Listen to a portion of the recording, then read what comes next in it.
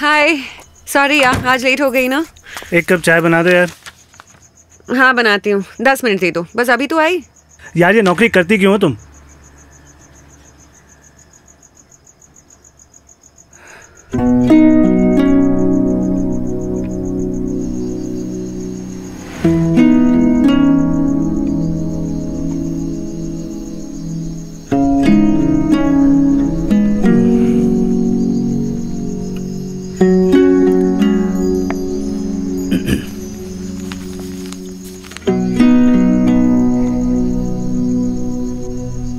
लेकिन जॉब तो छोड़ना पड़ेगा।